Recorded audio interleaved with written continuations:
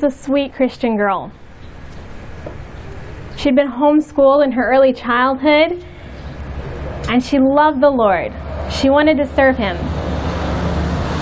Now she was entering the age where college seemed like the next step. And so she decided on a college, and it was a one in her community, uh, a community college, not a Christian college. And as she was talking to me on that Sabbath afternoon, she told me that she didn't see really any difference between the community college and uh, the Christian college. And so she decided to go with the, the one that was closer to her. And her parents didn't seem concerned. They had raised her right. They had instilled within her principles to guide her in life. She was a good girl. She loved God. She wanted to serve Him. And so college was the next step, wasn't it? A few years later, our paths crossed again. But things were very different than before. That sweet Christian girl was now the woman of compromise. Everything was changed from her dress and her deportment to her very understanding of God. This scenario it's not uncommon. I've seen it time and time again. Those who are raised in good Christian homes with an apparent focus in life, where they're going, what they want to do, they enter a college and within a few years, they lose direction. They lose their experience. They go from the sweet child to the compromising, skeptical adult. The years that parents have poured into their education and their training are wasted. And they're torn away.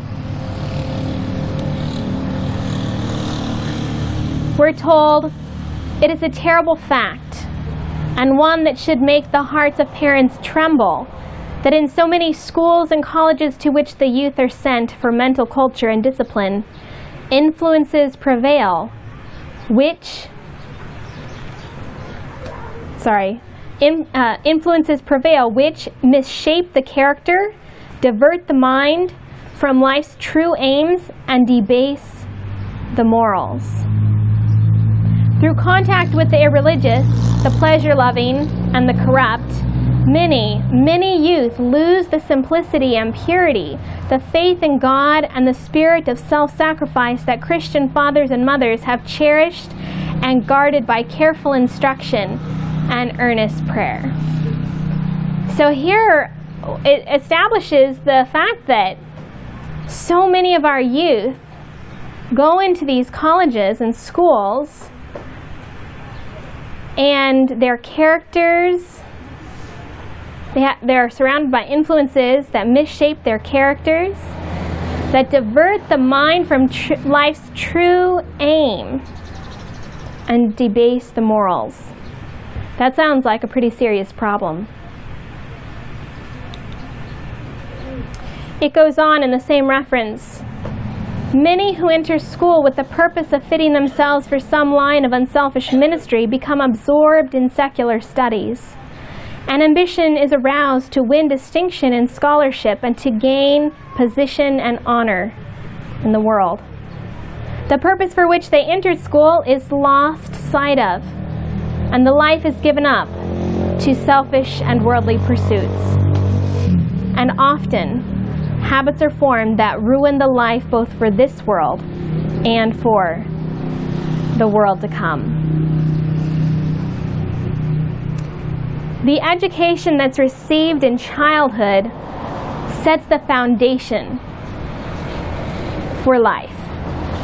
But it's the education received as the child is entering adulthood that builds the house on that foundation. In other words, from the teen years into the early 20s, you're settling into what you believe. You probably experienced it. I know for me, you're ra- I was raised a certain way with principles and ideas and, and standards and so forth. And as I got into my teens, I had to decide for myself was it just what my parents thought, or was it something that I believed? You're settling in to what you believe, who you are, where you're going in life. It's a time of testing and trial.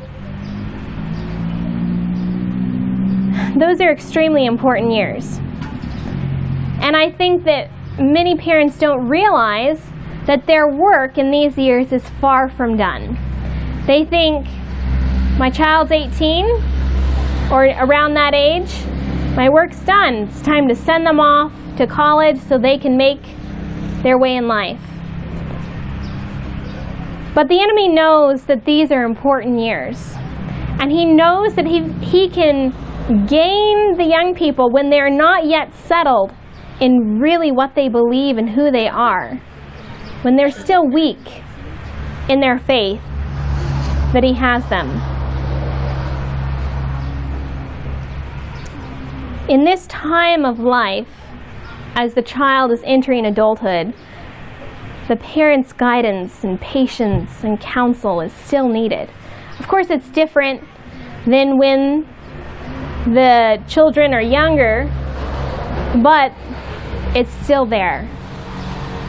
The wisdom of the parents is still needed. So, what is the purpose of college? Get a good job, get a degree, make money, intellectual training. These are common ideas that are circulating in our world. But we want to know what does God say? What does God say about furthering our education?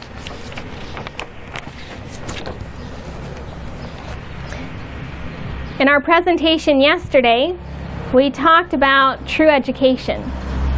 And we used a verse. Do you remember what that verse is? Found in John. John 17:3, and this is life eternal, that they might know thee, the only true God, and Jesus Christ, whom thou hast sent. The students should receive at college such training as will enable them to maintain a respectable, honest, virtuous standing in society against the demoralizing influences which are corrupting the youth. So, part of the purpose of college training is to enable us to live respectable, honest, virtuous lives, to be in society useful human beings, not those who are going to take advantage of people, not those who are going to um, be puffed up and proud with all the knowledge we have, but who are truly going to help society and to stand against the demoralizing influences. That's part of the purpose of college. But how many colleges today are infusing within their students these principles? Are they really helping them to stand up against the demoralizing influences of the day? If the influence in our college is what it should be, the youth who are educated there will be enabled to discern God and glorify Him in all His work. And while engaged in cultivating the faculties which God has given them, they will be preparing to render Him more efficient service. So, once again, God's purpose in setting up colleges was to prepare us to fill life's purpose, which is what? To glorify Him and bring souls into His kingdom. It was they set up colleges so that we would be able to engage in cultivating our faculties so that we can render to God more efficient and effective service.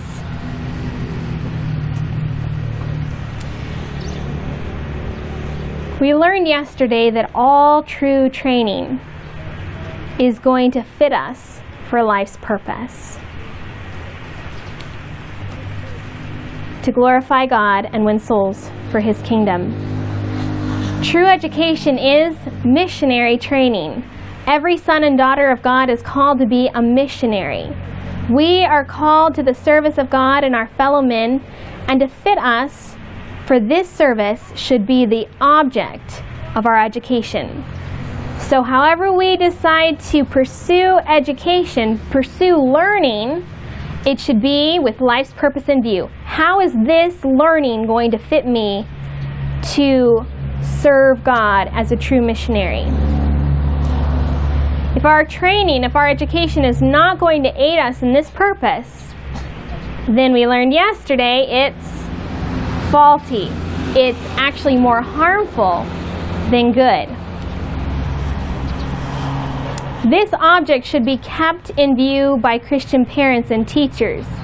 We know not in what line our children may serve. They may, be, they may spend their lives within the circle of the home.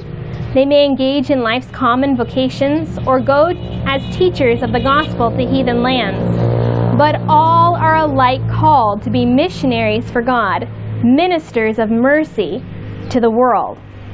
So there's different occupations in life, right? There's mechanics, there's carpentry, there's sewing, tailoring, um, there's cooking, running a restaurant. There's many different occupations in life. There's even running a home, being a parent, being a mother, being a father. Um, there's those who are called to be missionaries to other countries. All of these vocations, all of these occupations are worthy of pursuit. And God may call your children into one of these lines or something else, such as publishing or what have you. But whatever it is, whatever occupation God calls your child to, it should be with life's purpose in view to bring souls into His kingdom, to be missionaries for God. With us as parents and as Christians, it rests to give our children right direction.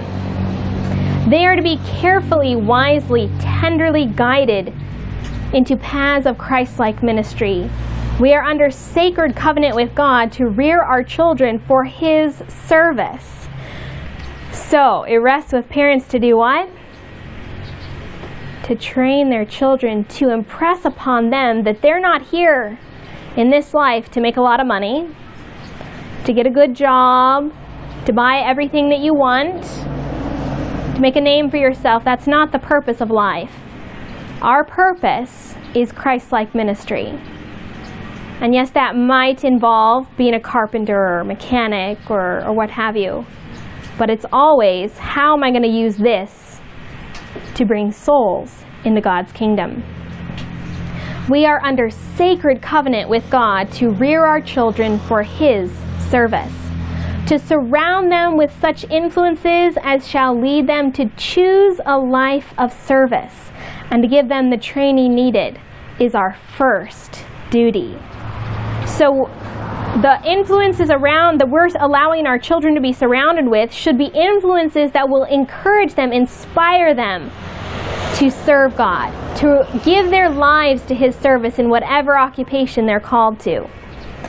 And it's our sacred duty, our first duty, to surround them with such influences. The highest of all sciences is the science of soul saving. You mean it's not of intellectual training? No, it's of soul saving. The greatest work to which human beings can aspire is the work of winning men from sin to holiness. For the accomplishment of this work, a broad foundation must be laid. A comprehensive education is needed, an education that will demand from parents and teachers such thought and effort as mere instruction in the sciences does not require. So, it says that yes, we need training. Yes, we need to learn how to fulfill life's purpose. We need to have cultivated minds. But instruction in the sciences is not sufficient to give us that education that we need. Something more is called for than the culture of the intellect. Education is not complete unless the body, the mind, and the heart are equally educated. We've already talked about this the physical, the mental, and the spiritual training. So that your Um, these things in education you're developing within your child in those early years the physical, the mental, and the spiritual you're uniting them in one, and you don't you don't finish that when they enter those college years or they're starting to go into adulthood. You don't just say, okay, you've had this great early upbringing where we've developed your mental, your physical, and your spiritual. Now, go just study from books. No, that's not the purpose of true education. Education is not complete unless the body, the mind, and the heart are equally educated. The character must receive proper discipline for its fullest and highest development. All the faculties of mind and body are to be developed and rightly trained. It is a duty to cultivate and to exercise every power that will render us more efficient workers for God. True education includes the whole being. It teaches the right use of oneself. It enables us to make the best use of brain, bone, and muscle, of body, mind, and heart. The faculties of the mind, as the higher powers, are to rule the kingdom of the body. The natural aptitudes and passions are to be brought under the control of the conscience and the spiritual affections. Christ stands at the head of humanity, and it is his purpose to lead us in his service into high and holy paths of purity by the wondrous working of his grace we are, we are to be made complete in Him. Where did Jesus receive his education? In the home, right? Jesus, he was the great physician, the mighty counselor, the master designer, the great interpreter, the ruler, the judge Yet he received his education in the home. His mother was his first human teacher. From her lips and from the scrolls of the prophets, he learned of heavenly things. He lived in a peasant's home and faithfully and cheerfully acted his part in bearing the household burdens. He who had been, been the commander of heaven was a willing servant, a loving, obedient son. He learned a trade, and with his own hands worked in the carpenter's shop with Joseph. In the garb of a common laborer, he walked the streets of the little town, going to and returning from his humble work. So Christ first learned from his mother, and he did learn a trade. He did learn an occupation at the hand of his father. And that he used as part of his, his missionary work. His life demonstrated the worthlessness of those things that men regarded as life's great essentials. The schools of his time, with their magnifying of things small and their belittling of things great, he did not seek. How many of our schools magnify things small and belittle things great? Jesus didn't seek that type of an education. His education was gained from heaven appointed sources, from useful work, from the study of the scriptures, from nature, and from the experiences of life. God's lesson books full of instruction to all who bring to them the willing hand, the seeing eye, and the understanding heart. As we see God's plan of education, the only way we're going to be able to fulfill it, the only way we're going to embrace it and let it trans- just transform our lives and the lives of our children is if we are willing. If we're willing. Sometimes we don't understand how it's possible. Where is God going to take us? How are we going to get to where we need to get? But if we're willing, He will lead us.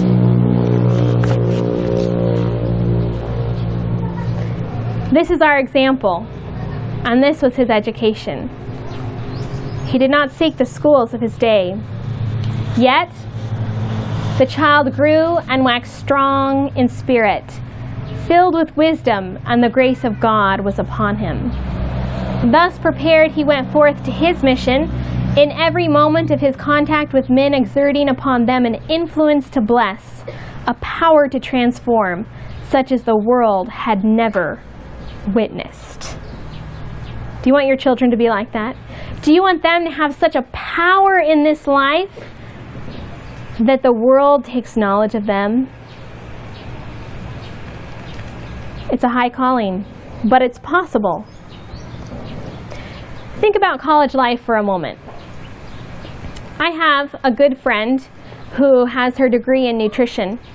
And she was talking to me one day and just sharing some of her experience, not uh, thinking too much that I would possibly use her story in a presentation someday. She was just sharing things she had learned in her life. And she said that in her course of study, she had to learn a great deal of information in a short amount of time. There was a lot of cramming involved, and she would spend long hours studying for tests, and then she would go into the classroom and she would take the test.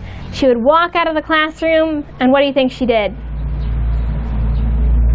She said there was a trash can right near the door, and it was as if all the information she had just crammed in her mind, she threw away because she had to make room for the next test.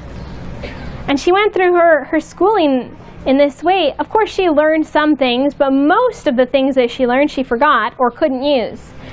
And I thought, how practical is that? How is that fitting one for service? Let the youth advance as fast and as far as they can in the acquisition of knowledge. Let their field of study be as broad as their powers can compass. And as they learn, let them impart their knowledge. It is thus that their minds will acquire discipline and power. It is the use they make of knowledge that determines the value of their education. You know, if my friend would have studied and then shared what she learned, if she had that opportunity, um, which was rather impossible in her type of education because of the cramming system, it would have benefited her, it would have profited others. But because she didn't have that time to share what she was learning, she lost it. And the value of her training was very low. It goes on and it says to spend a long time in study with no effort to impart what is gained often proves a hindrance rather than a help to real development. In both the home and the school, it should be the student's effort to learn how to study and how to impart the knowledge gained. Whatever his calling, he is to be both a learner and a teacher as long as life shall last. Thus he may advance continually, making God his trust clinging to Him who is infinite in wisdom, who can reveal the secrets hidden for ages, who can solve the most difficult problems for minds that believe in Him. There's so much to learn. But we serve a God who has infinite knowledge, who will help us unlock the mysteries of ages. But He wants to do it in a different way than the world does it. And as He shows us how, it'll really benefit us in fulfilling life's purpose. Many people spend years in acquiring an education, so called, and then finally they get to use it. But they've wasted so much of their time being useful. I think of my experience. I started learning the publishing work when I was um, about 13, 14. I studied books. I got a computer for Christmas or my birthday, some holiday, and I learned uh, how to use the word processing programs. I contacted different ministries and asked them what they used in their publishing work. And then I bought that same program and I studied the manual and then I took a cookbook. I took several cookbooks and looked at the layout and the format of it and then tried to reproduce it on the computer. And I learned that program. And for the last 15 years, I've been involved with publishing in ministry. I've been able to use my knowledge and gain more knowledge as I've done on the job training instead of just spending years studying it and not applying it to serve God people would encourage me, you know, why don't you go and, and go to college and get a degree in graphic design or something? I never felt God was leading me in that area because I was already working and serving Him. And there was such a need. There's such a need for missionaries, for workers in so many fields. The needs are great, but are we willing to let God teach us, to apply ourselves so that we can be in service right now, doing what He calls us to do? It's a different work, it's a different type of training than most are familiar with. And the world does not look at such training as of much value until they see the fruits. But of his disciples, Christ said, I have given them thy word, and they are not of the world, even as I am not of the world. John 17, 14. Romans 12, 2 says, Be not conformed to this world, God bids us, but be ye transformed by the renewing of your mind. True education takes an unlearning of the world system and a relearning of God's system. It's a transformation, a renewing of the mind. Be ye not unequally yoked together with unbelievers. For what fellowship hath righteousness with unrighteousness? And what communion hath light with darkness? And what agreement hath the temple of God with idols? You know, so many of the degrees and certificates are really idols. Not to everyone, but I've met some who, when they show you their title, it's an idol to them. The verse continues, For ye are the temple of the living God. As God hath said, I will dwell in them and walk in them, and I will be their God, and they shall be my people. Wherefore come out from among them and be ye separate, and touch not the unclean thing, and I will receive you, and will be a father unto you, and ye shall be my sons and daughters, saith the Lord. Gather the children Make them know the statutes of God and his laws. Put my name upon the children of Israel, and I will bless them. And all the peoples of the earth shall see that thou art called by the name of Jehovah. Do you want people to know that you are called by the name of Jehovah? And receive his training. Undertake his plan of education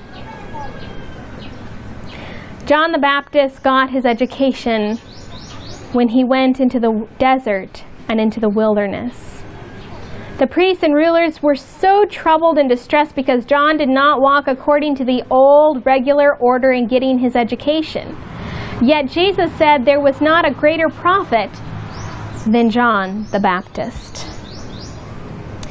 You know, in today in today's world we tend to think that college is the only step. But there's so many other options for preparing you for ministry. One of those options is an apprenticeship type program. And that's basically on the job training. Let's say you're interested in carpentry. So you find someone who is a good carpenter who can build things and you ask if you can learn with them, if they will teach you what they know. And they take you under their wing and they just they teach you everything. Remember that story that I told the other day about the the lady who had a 10th grade education and she went to Africa and she worked with a, a doctor and he taught her everything that he knew. And she ran a clinic and she ended up managing doctors and nurses from the knowledge that she received in her apprenticeship type program with that doctor and also the education that God gave her himself. When I was about 16, I decided to start thinking about furthering my education, what I was going to do in the coming years, how I was going to pursue ministry. I had an interest in publishing, but I didn't know how I was going to continue learning where God was going to take me. And when I was 16, um, we moved onto a college campus, and my mother worked in one of the departments. So I got to observe college life for a whole year. It was a Christian college, uh, very conservative, but as I observed some of the students and teachers and different classes and their type of education, I decided that that wasn't for me, that, that that wasn't what God had for me to do, that He was going to train me in another way, a different way, somewhere where I could learn personally what He was calling me to do, which I believed was in the publishing work. I didn't know where that was going to happen or, or how it was going to happen, but I knew that the promise in Philippians 4:19 would be fulfilled. And that says, My God shall supply most of your needs?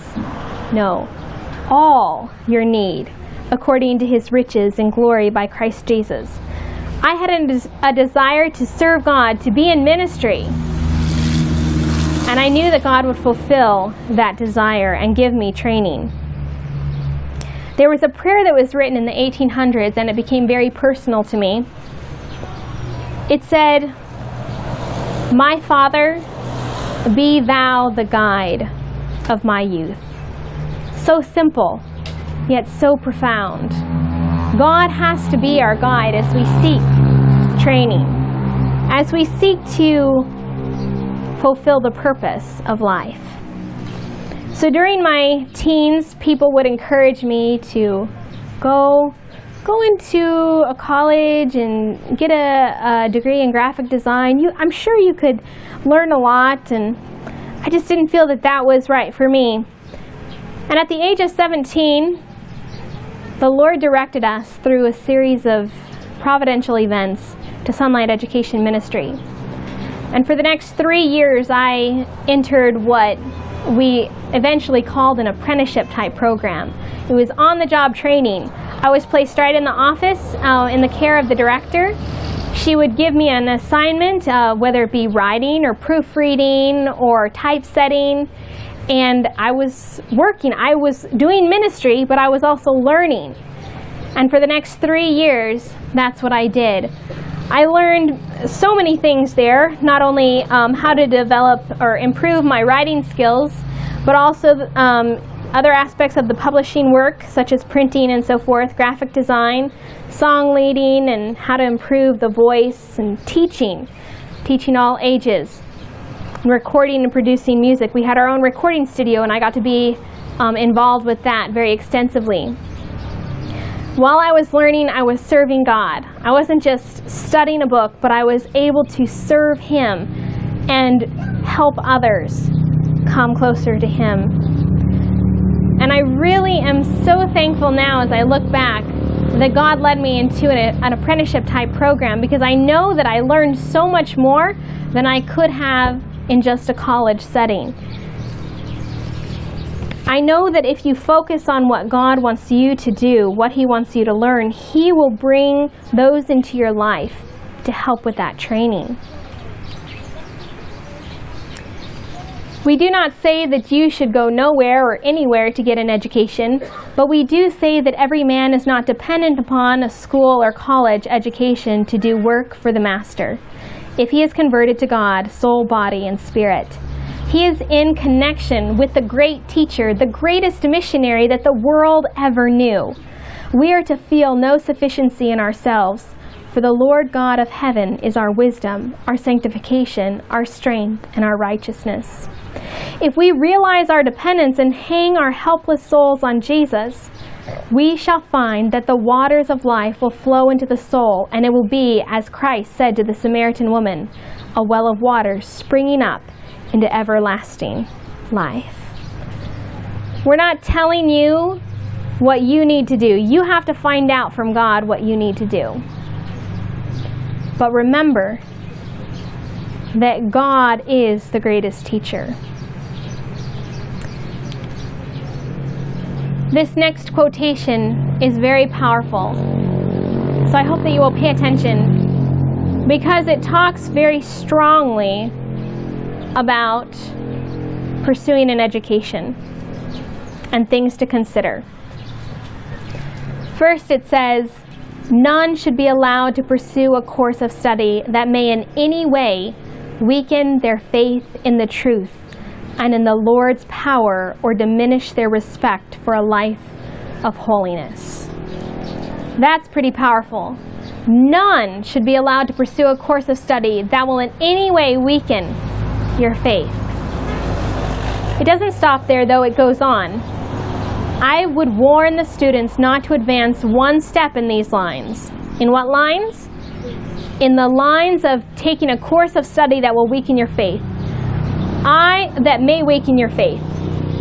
I would warn the students not to advance in one step in these lines, not even upon the advice of their instructors or men in positions of authority. So don't head down that path of pursuing training if it has the possibility to uh, weaken your faith, even if those you respect are encouraging you in that direction, unless they have first. So, unless you have first sought God individually, with their hearts thrown open to the influence of the Holy Spirit and obtained his counsel concerning the completed course of study. Let every selfish desire to distinguish yourself be set aside. Take every suggestion from humanity to God trusting in the guidance of the Holy Spirit. Every unholy ambition should be blotted out. You know, many times when we say that we're going to go to college or we have that longing, that desire, it's influenced by ambition, unholy ambition. It's influenced by a desire to distinguish ourselves and we're told that none should be allowed to enter a course of study that may in any way weaken your faith unless you are certain that God is leading you and will carry you through that course of study unscathed by the world. Search your heart. Make sure you know what is directing you in that path. We want a balanced perspective when we talk about education, especially when we talk about college. We know that there are references in the spirit of prophecy that actually encourage people to attend college, who give examples of those who have been sent into the schools of the day. So we want to look at those references and see what they're talking about. This next reference is giving some history about the Waldenses. The Waldenses were a group of people long time ago who for centuries held the Word of God as their standard. They kept the Sabbath. They kept the truths, the Bible, um, in its purity. And they were a holy, sanctified people. Their children were trained aright. They were educated in their mountain homes and they were educated for ministry, to be missionaries.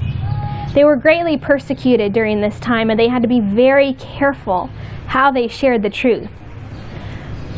But this says that the Waldenses did enter the schools of the world as students.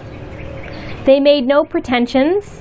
Apparently, they paid no attention to anyone but they lived out what they believed. They never sacrificed principle, and their principles soon became known. That was a key. Their principles soon became known. This was different from anything the other students had seen, and they began to ask themselves, What does this all mean? Why cannot these men be induced to swerve from their principles? While they were considering this, they heard them praying in their rooms, not to the Virgin Mary, but to the Savior whom they addressed as the only mediator between God and man.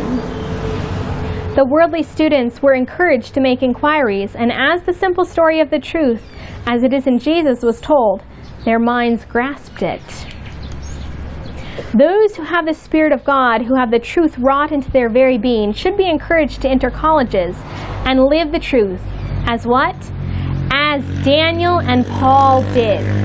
Each one should study to see what is the best way to get the truth into the school, that the light may shine forth. Daniel was taken to Babylon as a slave, and he was educated in Babylon, but he had a purpose. while he was there, his purpose was to bring souls into the kingdom.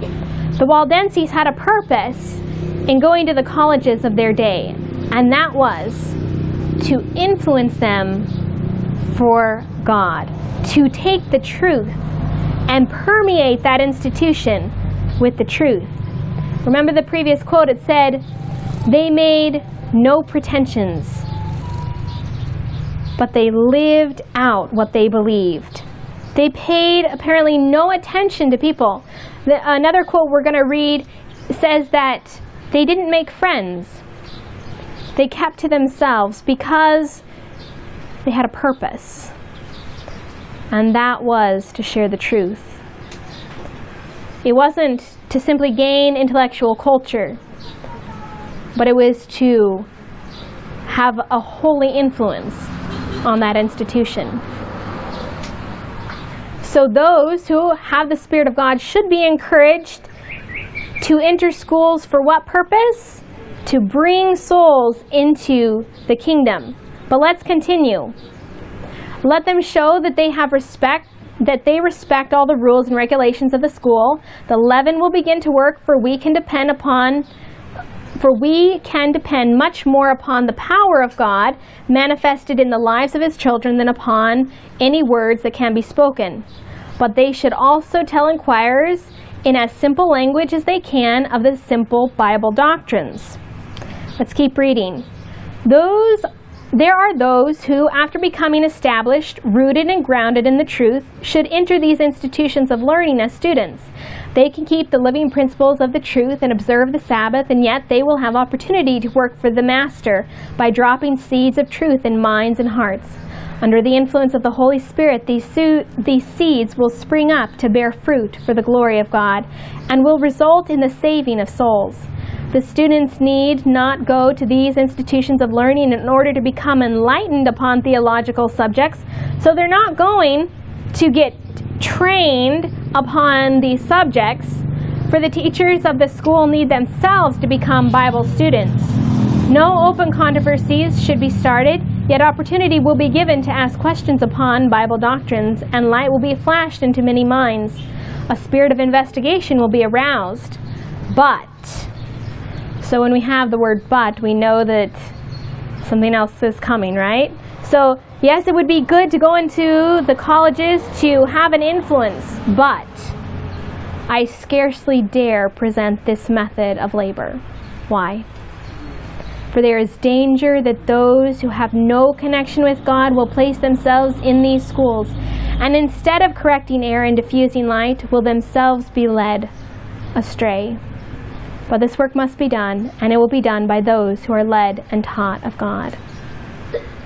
Yes, there are those who need to go into our colleges, colleges of the world, for the purpose of spreading light, for the purpose of being missionaries, not to simply gain uh, learning and, and cultivating their intellect and gaining knowledge for the purpose of being missionaries to reach souls for his kingdom. But it's a dangerous work. And many times we think we're stronger than we are. We think our connection is deep. And we go into the colleges, and more harm than good is wrought.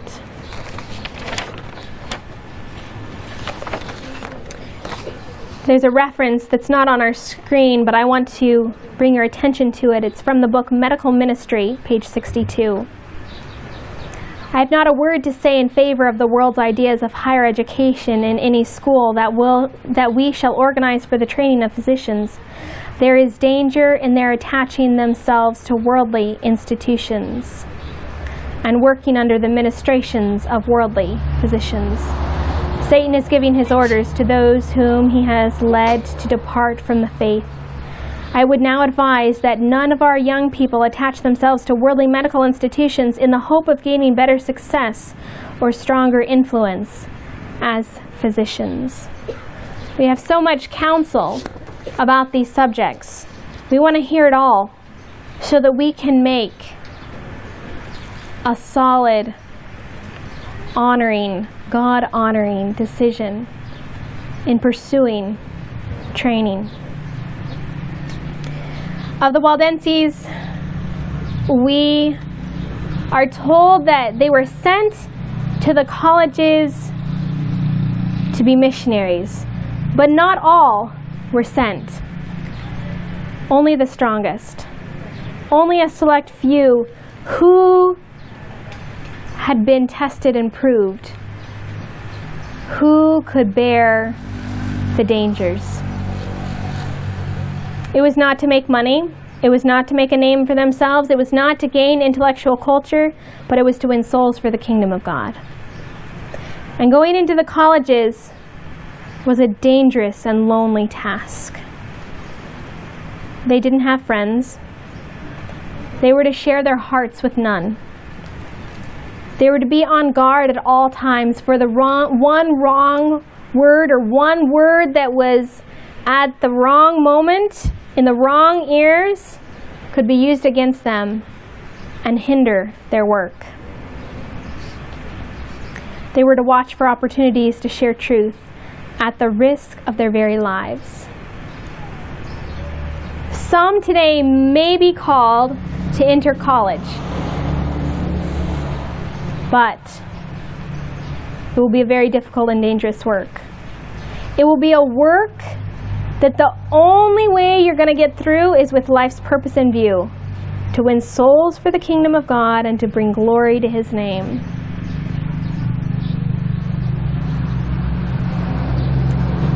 It was God's purpose that his church would set up colleges for the training of his people.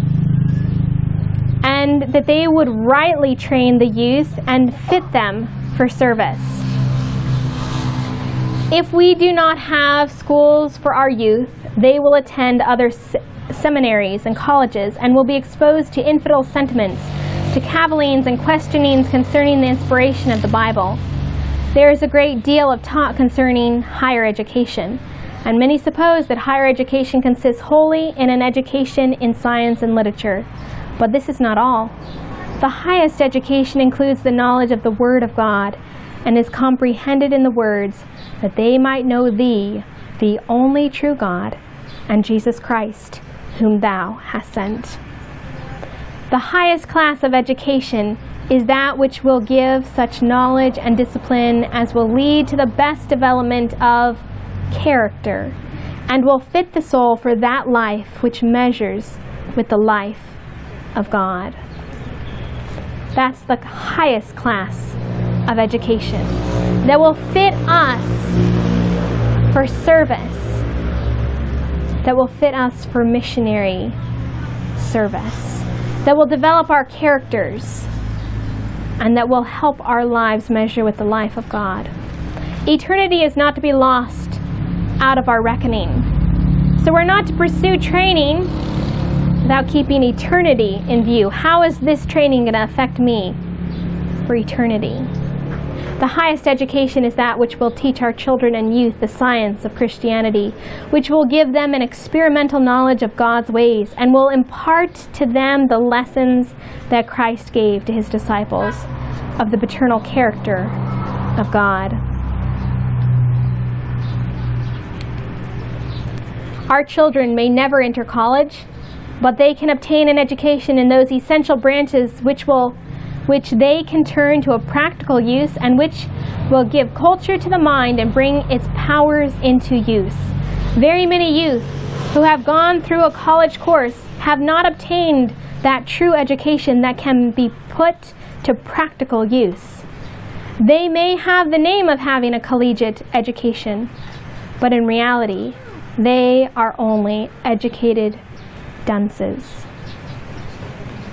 Does this mean that we should not seek to cultivate our intellect? Absolutely not.